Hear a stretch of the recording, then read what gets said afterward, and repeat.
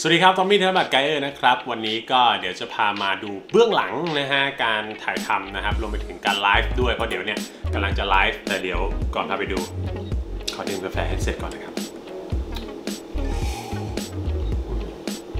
อร่อยจริง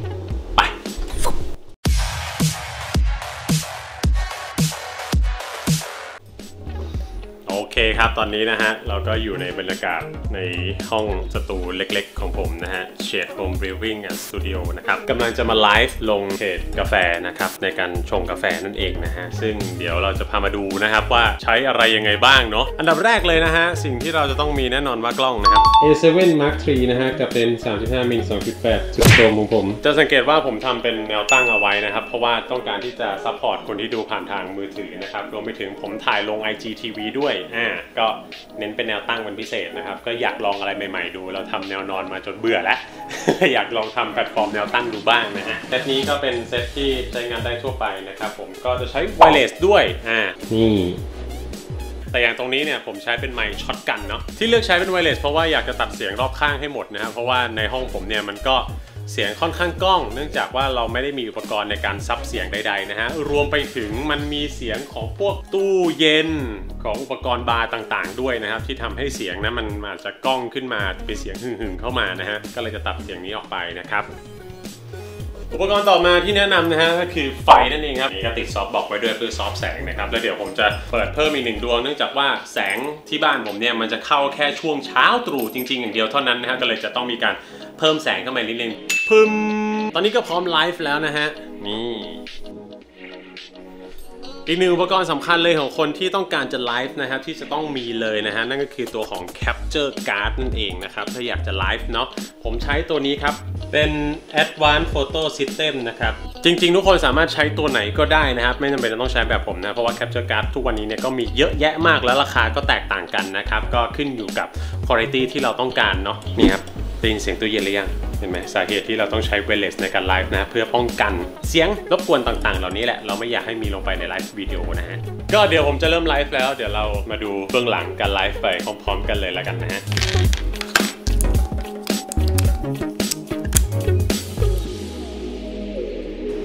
ตัวนี้ในการไลฟ์แล้ว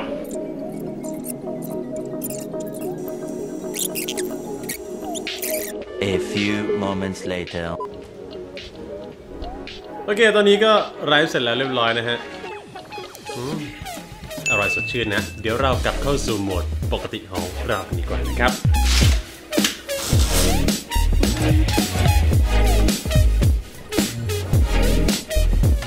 โอเคครับตัวนี้ก็เรียบร้อย เดี๋ยวเรามานั่งคุยกันดีกว่านะครับ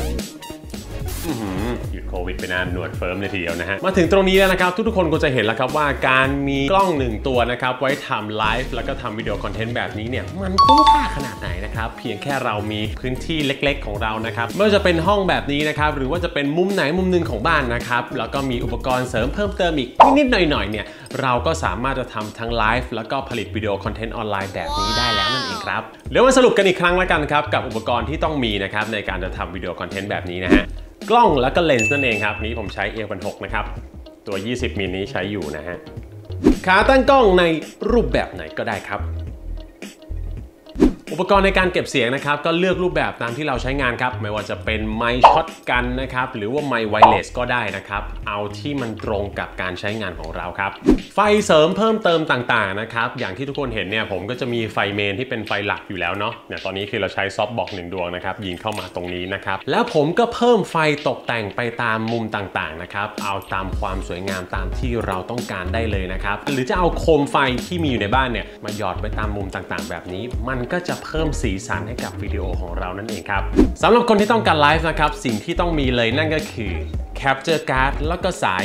Mini HDMI to HDMI ครับ เพื่อเชื่อมต่อสัญญาณนะครับ จากกล้องของเราเนี่ยไปยังกล่องไลฟ์นะครับ เราก็สามารถทำการไลฟ์แบบคุณภาพดีๆ ได้แล้วครับ อุปกรณ์ต่อมาซึ่งถือเป็น end result ของเราเลยนั่นคือคอมพิวเตอร์แท็บเล็ตสมาร์ทโฟนนะครับ ที่เรามีและตามที่เราถนัดได้เลยนะครับ เพื่อใช้ในการไลฟ์หรือว่ามาตัดต่อเพื่อผลิตงานคอนเทนต์วิดีโอของเรานั่นเองนะครับ ไม่ว่าจะเป็นตัวโปรแกรมต่างๆนะครับหรือว่าปลั๊กอินเสริมต่างๆ เพื่อเพิ่มลูกเล่นเพิ่มความสวยงามเนี่ยเดี๋ยวนี้นะครับก็มีให้ดาวน์โหลดเยอะแยะมากมายเลยนะครับเอาตามที่เราถนัดได้เลย แล้วก็สามารถเรียนรู้ได้ไม่ยากเลยครับณปัจจุบันนี้ครับ อุปกรณ์ทั้งหมดเหล่านี้นะครับก็คือสิ่งจำเป็นอันดับแรกๆเลยครับสำหรับการที่เราจะผลิตงานวิดีโอหรือทำการไลฟ์นะครับก็สามารถเลือกซื้อตามกำลังที่เราพอจะมีก็แล้วกันครับ ทั้งนี้ทั้งนั้นแล้วครับ ส่วนที่จำเป็นและสำคัญมากที่สุดจริง ๆ แล้วนั่นก็คือตัว